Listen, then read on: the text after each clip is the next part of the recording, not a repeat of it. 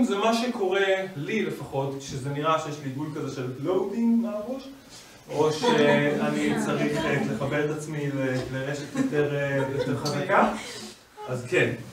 אני רוצה היום לשתף אתכם במסע שלי עם הדבר הזה שנקרא גמגום. עכשיו תדמיינו רגע שנוסף לכם רגע מחסום ענק על הפה שנפתח ונסגר כמעט בצורה אקראית לחלוטין.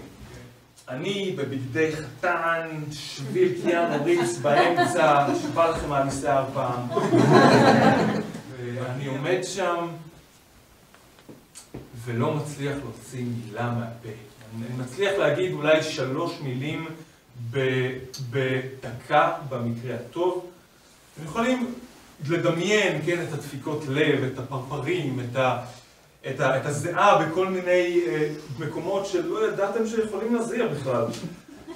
אבל עצם לעשות את הדברים האלה, מבחינתי, זאת הייתה ההצלחה. זה היה הגול. תודה רבה לכם.